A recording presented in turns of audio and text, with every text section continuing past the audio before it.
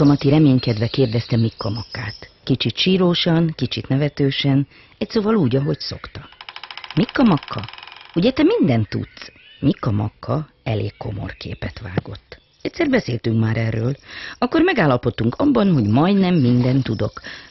A, vagy majdnem tudok mindent, vagyis, hogy mindent majdnem tudok. Egy kérdésem lenne. Mikka Makka ábrázata azt mondta. Elő vele. Ugye, nekem van születésnapom.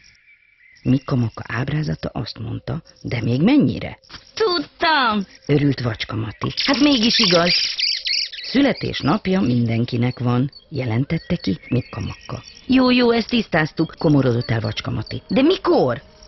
Hogy, hogy mikor? Nekem például december 1-én. Neked, mondta fitmálva Vacska Mati. Neked. De nekem mikor van? Honnan tudnám azt én? Neked kéne tudni. De nem tudom, mikor van, mondta szomorúan Vacska Mati. Például ma, mondta Mikka Makka. Vacska Mati felvidult. Kedden? Mikka Makka bólintott. Tehát minden kedden, virult Vacska Mati. Azt már nem. Milyen ked van ma? Ö, április 15-e kedd. Na akkor ez az, emelte fel az ujját Mikka Makka. Április 15-én születtél. Nem lehetne inkább kedd? Hogy, hogy kedd, hiszen kedd van. Hogy minden kedden születésnapom legyen. Még mit nem? Egy évben mindenkinek csak egyszer lehet születésnapja. Kár. De hiszen ma április 15-e van. És akkor mi van? Hát a születésnapom. Jé, majd elfelejtettem, ragyogott fel Mikka Makka arca. Isten éltessen! Kiszaladt a tisztás közepére. Fiúk! Kiabálta. Vacska Matinak születésnapja van! Elő is sereglettek mind. Lószerafin, Nagy Zoárt, Bruckner Siegfried, Arómó, Szörnyeteg Lajos és Dömdödöm. Isten, Isten éltessen! Isten éltessen! Kiabálták. Bruckner Siegfried hirtelen elhallgatott, de olyan feltűnően, hogy a többiekbe is belefulladt a szusz. Mi történt? kérdezte Nagy Zoárt. Csak elég furcsa. Már 15 éve ismerlek, és eddig egyszer sem volt születésnapod. De ma ked van, mondta Vacska Mati. Ah, az mindjárt más, kiáltott Bruckner Siegfried.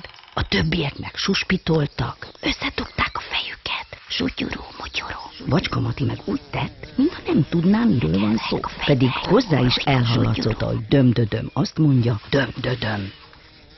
Ezt pedig csak az nem érti, aki mind a két fülére süket. El is futottak mindjárt. Vissza is jöttek mindjárt. Na és a kezükben, na lám, a kezükben oda néz, a kezükben egy cserépvirág. Lila is volt, zöld is volt, sárga is volt, kék is volt, csuda egy virág volt. Úgy hívták Vacskamati virágja. Vacskamati meg írult, pirult, sápidozott, táncolt, ugrált, sikongatott, simogatta, dédelgette, becézgette, lehelgette a virágját. Igen boldog volt. Hát így zajlott le az a születésnap. Aztán elmúlt. Sok kedd elmúlt. De egyik sem volt Vacskamati születésnapja. A virág meg, uram fia, szegény-szegény Vacskamati virágja. Azt hiszitek, törődött vele? Nem törődött. Azt hiszitek, öntözte? Nem öntözte. Azt hiszitek, kapálgatta? Nem kapálgatta. Azt hiszitek, rá is nézett? Nem nézett rá. A virágnak oda lett zöldje, sárgája, lilája, kékje, kornyadozott, fonnyadozott.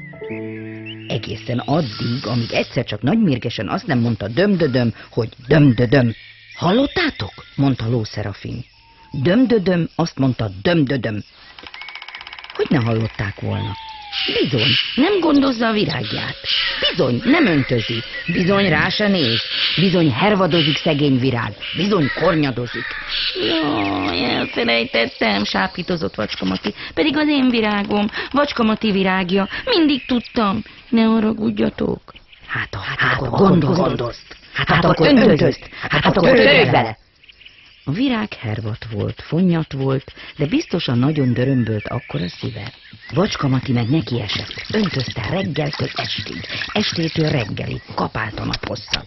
És két nap múlva azt mondta, öntözte le, kapáltalak, két napja csak veled foglalkozom, mégis kornyadsz, mégis hervadsz, mi lesz már? tessék sárgállani, tessék zöldelleni, tessék lilállani, tessék kékelleni. Na, erre megint összesereglettek mind. Mit képzelsz? mondta Ló Szerafin. Hónapokig nem töröttél vele, és most azt hiszed, hogy két nap alatt virulni fog? Zöldelleni? Sárgállani? Lilállani? Kékelleni? Dömdödöm? Úgy határoztunk, mondta Bruckner Siegfried, hogy elvesztük tőled a virágot. Jaj, ne! Esett kétségbe vacska Mati. De, de igenis, elveszük. Dömdödöm, mondta ekkor dömdödöm. Csodálkozva néztek rá. Azt mondod, hogy kérdezzük meg a virágot is? Döm. Megkérdezték hát a virágot. Akarsz macska Matinál maradni? A virágnak szép virághangja volt. Igen, mondta. De hiszen nem öntözött. Tudom, mondta a virág. De hiszen nem kapálgatott. Tudom, mondta a virág. De hiszen rád se nézett. Tudom, mondta a virág. Aztán meg agyon öntözött. Tudom, mondta a virág. Agyon kapált. Tudom, mondta a virág. Sápat lettél. Tudom, mondta a virág. Csenevész lettél. Tudom, mondta a virág. Akkor meg miért maradnál nála? Mordult rá Bruckner Siegfried. Azért, mert szeretem, mondta a virág. Miért szereted? háborgott Arómú. Csak, mondta a virág. Bacska Mati táncra perdült, ugrált a virágja körül, alig látott az örömtől. Meglátod, rendesen öntözlek, kapállak, törődöm veled ezután.